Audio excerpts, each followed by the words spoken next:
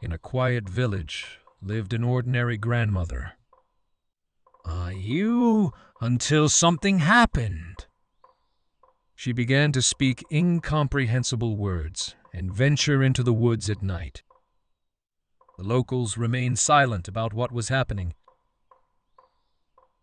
until a terrible event occurred.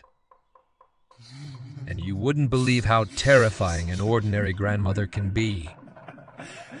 You, until you meet her yourself.